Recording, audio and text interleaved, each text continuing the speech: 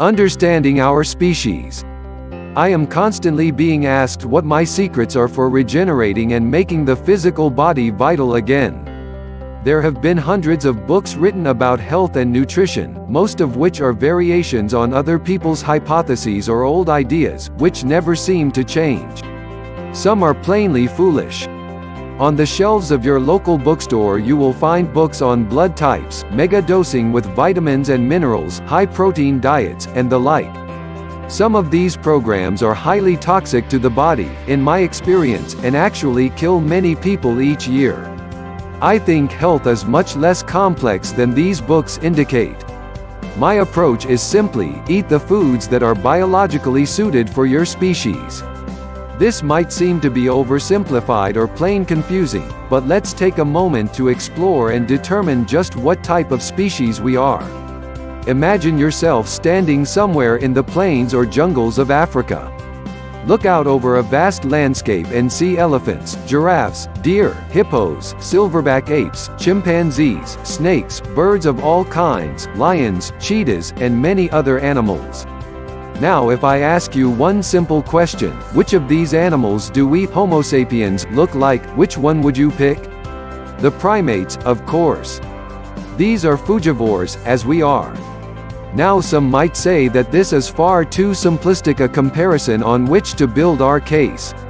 Okay then let's kill, I would never, one animal from each species and bring them back to the lab. Let's dissect each animal and look at its anatomy and physiology to determine which one we humans most resemble, internally.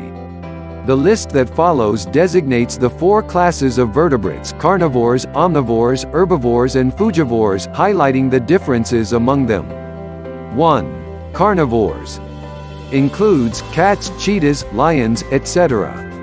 Diet, mainly meats, some vegetables, grass and herbs.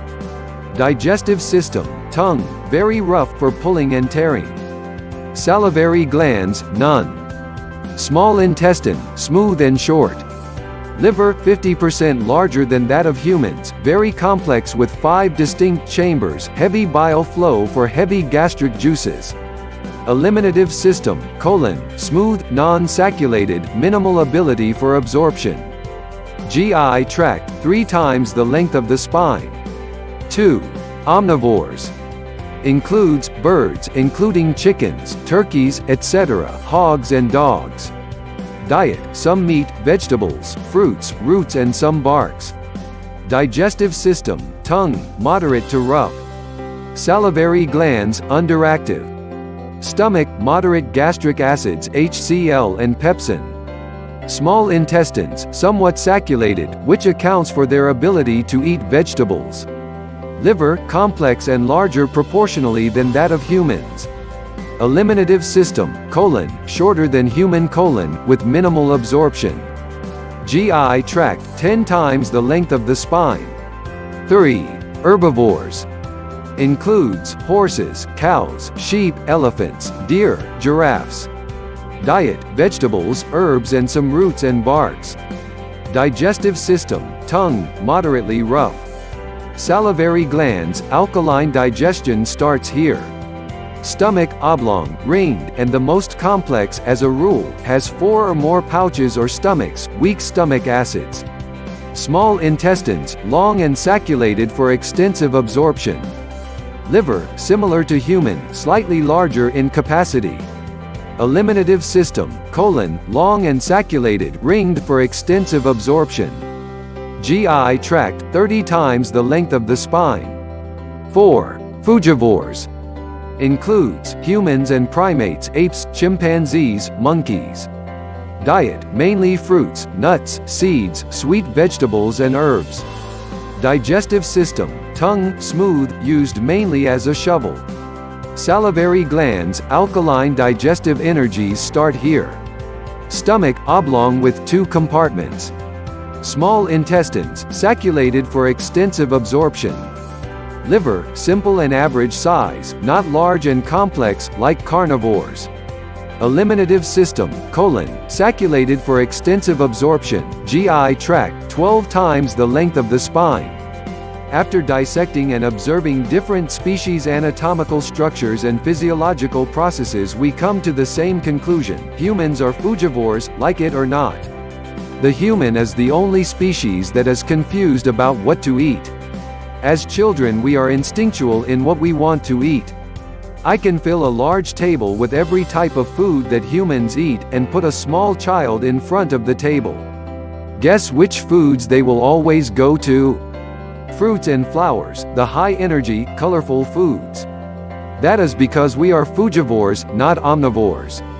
If a human were truly a carnivore, he or she would enjoy catching a live animal, ripping it apart, and eating it as it is, and I don't know of too many people who enjoy this.